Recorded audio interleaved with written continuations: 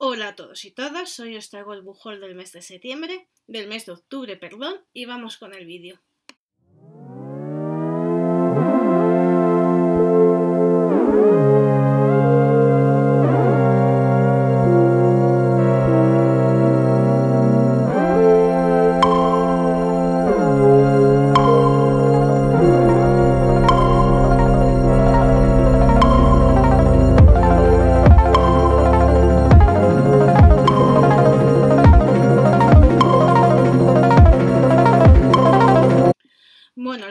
Voy a enseñar dos libros que es que justo adquirí el último día de mes y no me dio tiempo a introducirlo en el bujol del mes de septiembre, pero son eso del mes de septiembre.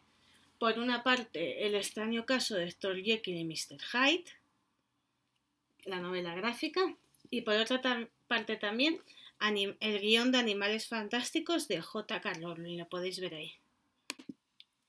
Bueno, ahora con los que me han llegado este mes, me ha llegado uno en digital que es La noche que te alejaron por el balcón de Carlos Álvarez. Os dejaré la portada aquí como siempre, que es un libro que me envió el autor.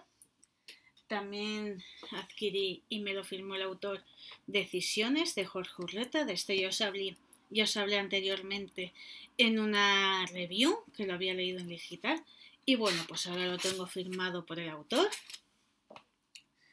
También me llegó La noche que divide, La noche divide el día de Mario Blázquez, editorial 16. Es un libro muy finito que espero leerme pronto. También tengo Locos, ricos y asiáticos de ¿cómo se llama la autora? El autor de Kevin Kwan de Suma Editorial. Y lo podéis ver. También me tocó en un sorteo La llamada del destino de Isabel Gancedo. Creo que es autopublicado, si no me equivoco. Sí, es autopublicado, me tocó en un sorteo y estoy deseando también leérmelo. Nada, os voy a decir varios libros digitales que me han llegado, que lo tengo que mirar aquí. Por una parte me llegó La Casa de los Artistas, sobre eso os dejaré las portadas aquí que es un libro que estoy, que estoy participando, ya que acaba ahora a finales de mes de Economics Editorial. También conseguí gratis en Amazon Microrelatos Paranormales de Daniel Cano Niño, aquí la portada.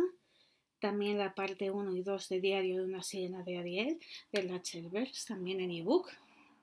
Dejaré aquí las portadas de los dos, esas no sé cómo las pondré.